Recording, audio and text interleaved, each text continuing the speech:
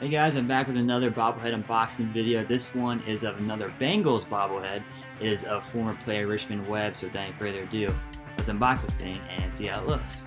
So here is the bobblehead. It comes in like basically a plain white box. It says NFL, uh, thank you for applying your NFL visa. And yeah, another logo right there, uh, MBNA America. So this is a pretty old bobblehead, uh, as you see the plain white box. Uh, this one I think was given out via a credit card promotion inside the Bengals Stadium way back in the day. And obviously, I was, when this was given out, I was not old enough to have a credit card. So I've been looking for this one on eBay, trying to get my hands on every possible bobblehead of a Bengals player that there is.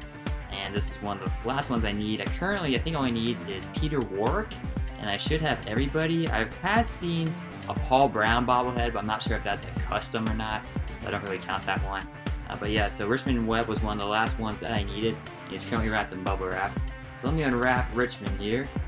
I'll show you guys what the Bengals bobblehead Richmond Webb, Richmond Webb looks like. Alright guys, here's the Richmond Webb bobblehead unwrapped out. The bubble wrap looks really, really good. A lot of good details on this. So you see the Bengals helmet right there, the old Bengals Tiger logo on the sleeve. Also got his name, or his number on the shoulder pads, front of his jersey, on this side as well, he's got the Bengal Tiger logo, the Bengal stripes, Bengal stripes on his pants. He's even standing on a decal Wilson football, which is a nice touch. Looks like the sponsor was uh, MBNA.com. Has his name in white letters on a blue base.